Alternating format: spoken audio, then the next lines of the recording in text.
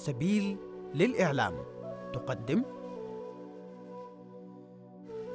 قصص الأنبياء.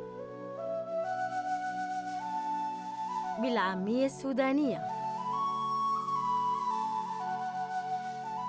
قصة سيدنا يوسف عليه السلام.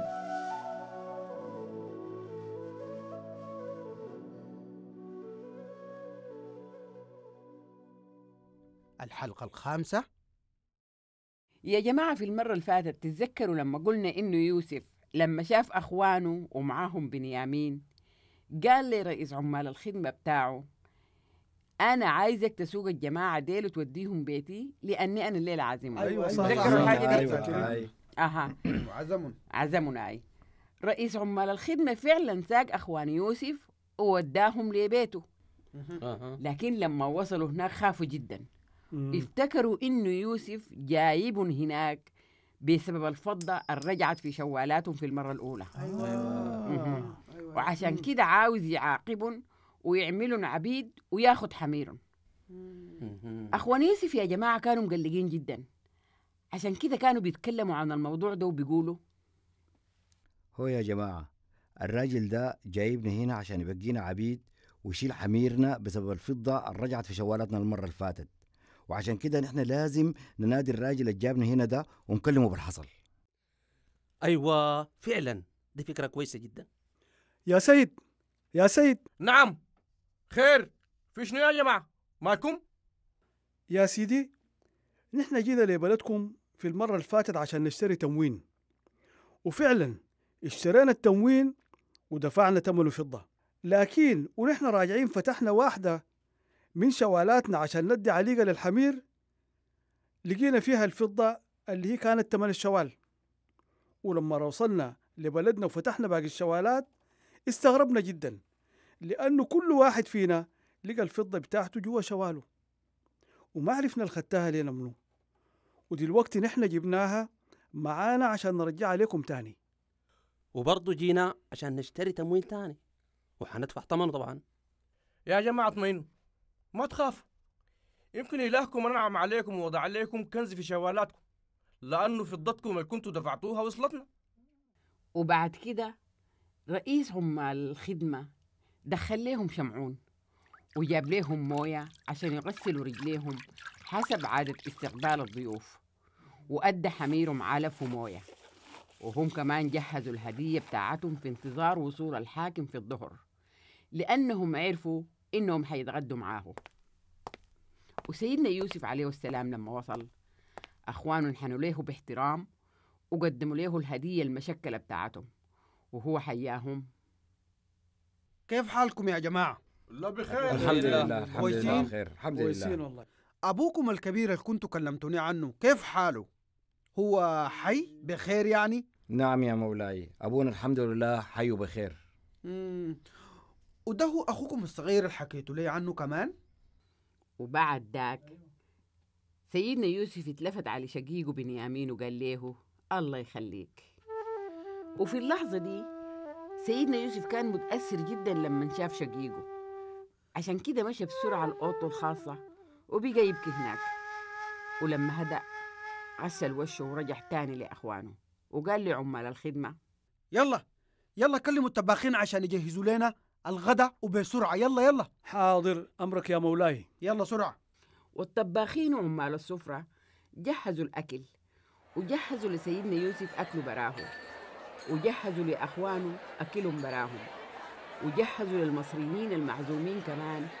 كلهم جهزوا لهم الأكل براهم لأن المصريين حسب عادتهم كانوا بيعتبروا إن الأكل مع الكنعانيين حرام. وبعد تجهيز الأكل عمال السفرة قعدوا أخوان يوسف قدامه حسب أعمارهم بالترتيب. من البكر لأصغر واحد. والموقف ده خلى أخوان يوسف مستغربين وبيعاينوا البعض. عمال السفرة أدوهم برضو كمية من الأكل اللي في مائدة سيدنا يوسف. وكان نصيب بنيامين قدر نصيب أخوانه خمس مرات. والمدعوين كلهم أكلوا وشربوا مع سيدنا يوسف لغاية ما تكفوا بعد ذاك سيدنا يوسف أمر رئيس عمال الخدمة وقال له عاملة شوالات الجماعة ديل بحبوب المحاصيل لآخرة. وخد لكل واحد منهم فضته في شواله. وخد كاس الفضة بتاعي ده في شوال الصغير. أيوة الصغير منهم ومعاها فضته. أمرك يا سيدي. وفعلا كل شيء تم زي ما أمر به سيدنا يوسف بالضبط. في الصباح سيدنا يوسف سمح لأخوانه بأنهم يسافروا. لكن بمجرد ما طلعوا من المدينة يوسف قال لرئيس عمال الخدمة يا رئيس عمال الخدمة! نعم نعم مولاي. قوم! قوم نعم. حصل لنا الجماعة ديلو بسرعة. حاضر. وتظاهر بأنه الكاس بتاعي انسرق وقول لهم أنتوا ليه تقابلوا الخير بالشر؟ ها؟ ليه سرقتوا الكاس اللي بيشرب بيه سيدي وكمان غشهم. قول لهم ان إنه أنا بستعملها في كشف الغيب. حاضر. يلا سرعة. هوي! هوي يا جماعة! يا جماعة! أقيفوا قيفوا قبلكم. في شنو في شنو في شنو خير يا في شنو يا سيدي؟ منو فيكم السرق كاس سيدي؟ بتاعت الفضة اللي بيشرب بيها وبيكشف بيها على الغيب كمان. معقول؟ لا لا لا لا لا. نحن ما سرقنا أي شيء يا سيدي. يا سيدي عيب على عبيدك يعملوا شيء زي ده. أنت شفت حتى الفضة اللي لقيناها في شوالاتنا بالغلط نحن رجعناها لكم تاني. أيوه ما في واحد فينا بيعمل كده. كيف نحن نسرق فضة أو ذهب من بيت سيدك؟ خاصة بعد الكرم الشديد اللي أكرمنا إياه. يا سيدي هسه ممكن تفتشنا وأي واحد يتلاقي الكاس في شواله سوقوه طوالي وأقتلوه. ونحن كمان سوقونا عبيد. جميل جدا. أنا أقول لكم الحل بتاعي. البلقاه سارق الكاس هاخده عبد وأخلي الباقيين يسافروا. ورئيس عمال الخدمة بدأ يفتش في الشوالات بتاعتهم. ابتدى بالكبير وفتشهم لغاية ما وصل لشوال بنيامين. دلوقتي فضل لي شوال واحد للتفتيش. شوال أخوكم الصغير. يلا كده أفتحوا لي الشوال ده. بسرعة!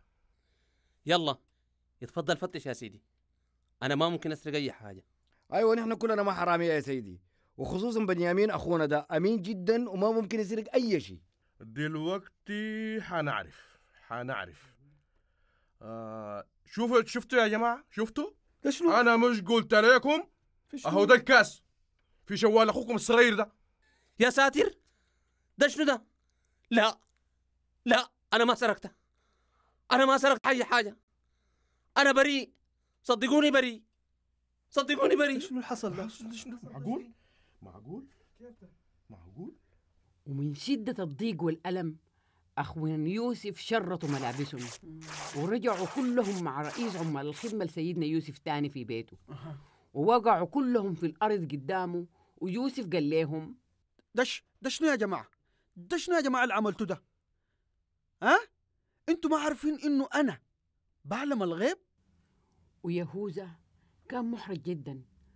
وبدأ يشرح لسيدنا يوسف في الموقف وقال ف- ف- ف- في الحقيقة يا, يا سيدي نحن ما عارفين نقول لك شنو وكيف نبرئ نفسنا قدامك. الله كشفنا وفضحنا معاك يا سيدي. ودلوقتي وخدنا كلنا نحن عبيد ليك. بس أخونا اللي لقيت الكاس في شواله ده ده خليه يمشي أنا طبعا ما ممكن أعمل كده. بس أخوكم اللي جينا عنده الكاس هو اللي حيكون عبد لي. أما أنتوا أرجعوا لأبوكم. يلا مع السلامة. يلا امشوا. يا مولاي يا مولاي أنت مقامك كبير وزي فرعون نفسه. أرجوك أرجوك أن تسمح لعبدك بكلمة. وما تغضب عليه. نحن يا سيدي لما جيناك في المرة الأولى أنت سألتنا إذا كان أبونا موجود وعندنا اخو تاني ونحن قلنا لك إنه أبونا راجل عجوز وعنده ولد صغير جايبه على آخر عمره وهو الوحيد اللي فضل له من زوجته راحيل لأنه أخوه شقيقه مات وأخوه الصغير ده أبونا بيحبه بيحبه جدا وحيموت لو ما رجعنا له. أها. كملوا كملوا. وأنت يا مولاي طالبتنا عشان نجيب لك أخونا الصغير ده وتشوفه بعينك. ونحن يا مولاي قلنا لك أبوه بحبه شديد وما بيستحمل فراقه ابدا. طيب. وممكن يموت بسببه. لكن انت يا مولاي اصريت اننا لازم نجيبه لك معانا. والا ما في لنا اي طريقة عشان نقابلك. وانت يا مولاي طالبتنا عشان نجيب لك اخونا الصغير ده. وتشوفه بعينك. ونحن يا مولاي قلنا لك ابوه بحبه شديد بيستحمل أكتر مننا. كلنا بيحبوا أكتر مننا كلنا نحن. بيحبه طيب. وممكن يموت بسببه. لكن انت يا مولاي صريت أصريت إنه لازم نجيبه لك معانا. وإلا ما في لنا أي طريقة عشان نقابلك. وبعدين؟ ولما رجعنا لأبونا وكلمناه بطلبك. وبسبب استمرار المجاعة أبونا طلب مننا نسافر ونجي له هنا عشان نشتري تموين تاني. ونحن وريناه إننا ما حنقدر نمشي مصر بدون ما يكون أخونا الصغير معانا حسب طلبك. وأبونا قال لنا أنتم ما عارفين انه زوجتي راحيل. جابت لي ولدين. الأول أكل حيوان متوحش. فعلا اكلوا يا حيوان مولاي. متوحش. طيب طيب. عشان كده كان خايف على التاني. وقال لنا أنتوا عارفين حيحصل لي شنو؟ لو أخذتوا مني كمان ولدي ده؟ ولا قدر الله إن حصل ليه شيء حتخلوني أموت بالحسرة والغم بعد العمر ده. طيب أنتوا بالضبط عايزين تقولوا شنو؟ طيب يا جماعة لغاية هنا أنا حقيف وفي المرة الجاية حنواصل بإذن الله.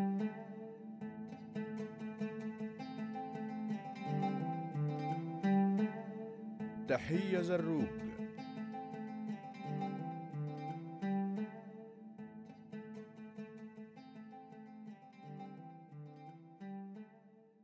إخراج تماضر شيخ الدين.